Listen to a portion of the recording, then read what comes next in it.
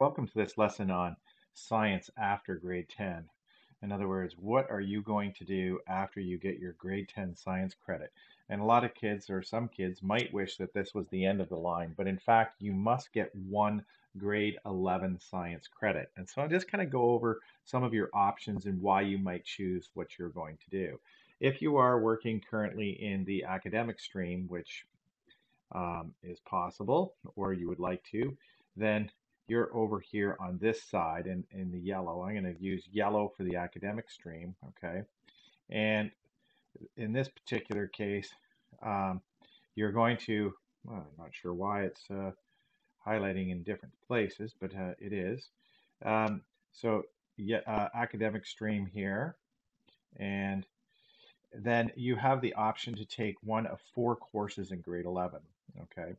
One of them is being environmental science, and it's a mixed level environmental science course. So it's not considered university, it's considered a mixed level course. And then you have another option here, of course, of going into taking just a straight biology course. It would be at the university level. And then you have the option of going into chemistry, also at the university level. And then, of course, the last option would be physics. Now, Physics is uh, a lot about the rules, a little more mathematical. Chemistry is looking more at chemical reactions and breaking them down, balancing chemical reactions, starting to look into some of the more details of chemistry.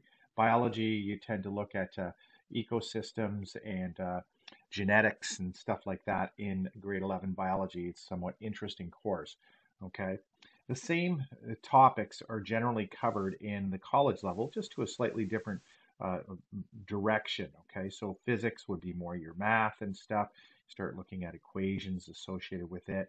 Chemistry, again, into chemical reactions and more depth there, and then ecology and, and some uh, genetics in the biology. And of course, there's this new course that crops up uh, more recently called Environmental Science. And eh, here it's a mixed level, and at the grade 11 course, it is considered a workplace level. And if science is not your thing and you're looking, I just want to get the heck out of here, I want to get my credit, this is often the path that kids take. They take grade 9 and 10 applied, and then they jump right back into grade 11 workplace. And it's a pretty straightforward path. So, what you really have to do is think about what you want in your future, kind of job you want to do. If you're thinking about maybe becoming a vet tech or something like that, you might want to make sure you take at least some biology and some chemistry if you're thinking about nursing, those are kind of important.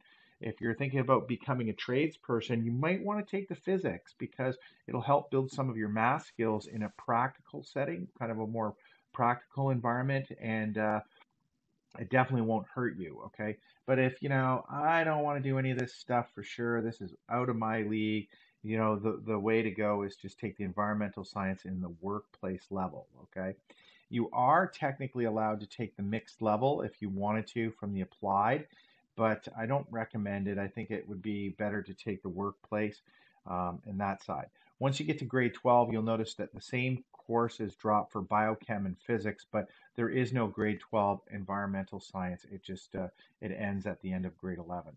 And just for those of you wondering what the heck is environmental science, well, it's the study of the human humans impact, how human beings are impacting our uh, world, and how we are changing things and the kind of things we're going to do. So a lot of stuff on you know some stuff on global warming and the carbon cycle and stuff on the water cycle and how we're polluting waterways and stuff.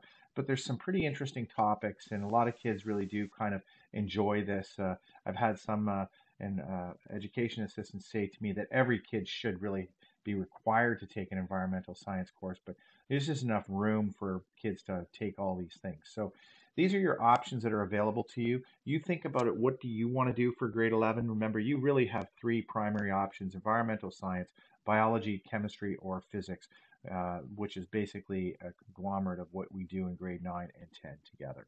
All right, I hope you like that. I hope it gives you some sense of what to, to look for. You can talk to your guidance counselors about it when you select your courses later this year for grade 11. And, uh, you know, good luck uh, uh, with your science career as you move forward.